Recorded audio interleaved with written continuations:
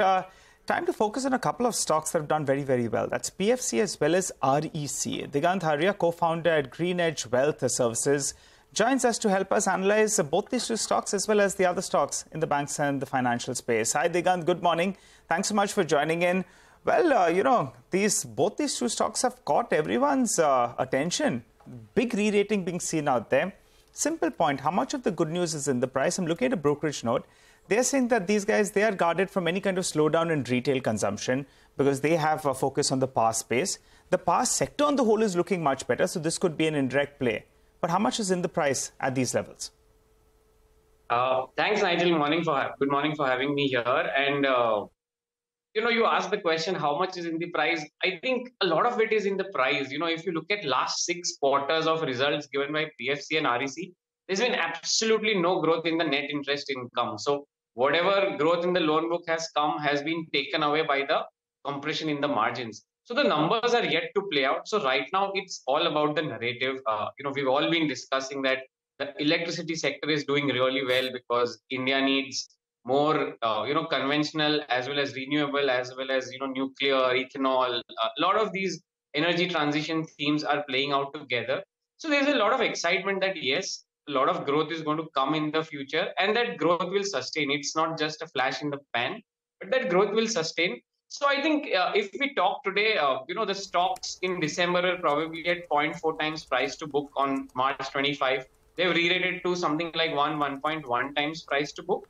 So you know the first big move in a sector where narrative is good always happens uh, without numbers. I think the numbers will follow. Numbers will follow in the next one or two years uh, but yeah, I would say that a lot of it is in the price. Uh, it should not be getting carried away. The story is strong, mm.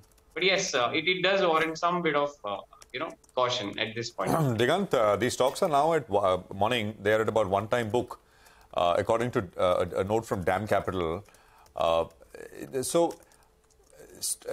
not get so how should one what should one do if you don't own it stay away do you have a um, sort of spe- specific recommendation actionable, so, if anything at all? so? Prashant, I think we'll talk about you know what happened in the last cycle. So see, the last good power cycle actually yeah. happened between 2009 to 2013.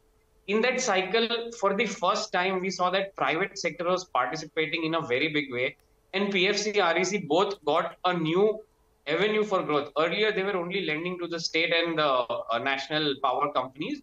Uh, they started lending to the private sector at that point in time, Prashant, the loan book CAGR was 25%. The NIMs expanded from something like 3.5% to 4.5%. So the earnings were growing up by 35, 40%. And then stocks re-rated from, say, one time book to something like two and a half times book. And after that, we saw that the private sector massively went in for bad times. You know, even the government sector or the discoms or the state electricity boards, as we tell them, they went into a lot of stress. And uh, you know the PFC RECs of the world they derated from two and a half times to 0.3 times. So what I'm trying to tell here is that these stocks are deeply cyclical stocks. They are dependent on one sector and which is largely driven by the government. Uh, so you know one should not get carried away that they will go back to two two and a half times. They may get carried. You know they may actually go to uh, you know that two two and a half times if there is a lot of liquidity bull market narrative but we have to understand that today we are talking of a loan book growth potential of next five years of 10 to 12 percent only. Uh, whereas okay. in the last decade when they rallied, we were at a much higher loan growth, and even now the margins are not going to be as high as the last decade. So I think uh, you know one must not expect very high returns from here. So don't get carried away. Don't expect high returns. And in any case, these stocks have rallied what 90 percent right in the last six months. So I take your caution on board. The two other issues, and before we wrap up this discussion, wanted your thoughts on them. One is NPA resolution, which has been a problem for the sector on the whole. And the other is the steep losses as far as discoms are concerned, right? On these two elements, have things improved for either of these companies? Uh, absolutely, Sonia. So for uh, NPA resolutions, uh, you know, lot like last four years, the GNPAs have you know become half from seven percent to something like three and a half percent. I think uh, that's no longer the issue. We've already seen PSU banks cleaning up their balance sheets. For PFC REC, that process started last year. It will continue for one more year. And then NPAs are far away. I think they are, uh, you know, something 2027, 28 is when we can start talking about NPAs. The new cycle has just begun.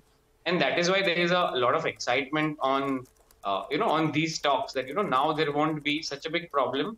But because of this excitement, I think there will be a lot of pressure on margins. So if you understand that, you know, the discoms have always had really bad health. Uh, but you know, there is one discom which was always in good health, which was the Gujarat State Electricity Board.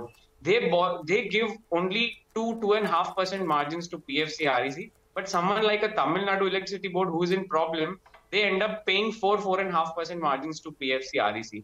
So, you know, as the electricity sector reforms happen, PFC and REC will have to, uh, you know, compress their, their margins will get compressed over a period of time. So, you know, good news, but bad margins, you know, something like that is what can happen in the future. All right, Digant, final question before we let you go. Now, IRFC, that one is speeding ahead. Last five days, it's up 30%. Now, that's already trading at 1.7, 1.9 times price to book. Uh, I mean, how do you view that? I mean, these stocks are still at around 1, 1.1 times odd. So, your, your view on uh, IRFC and uh, could that be a reason that these stocks get a little higher multiple?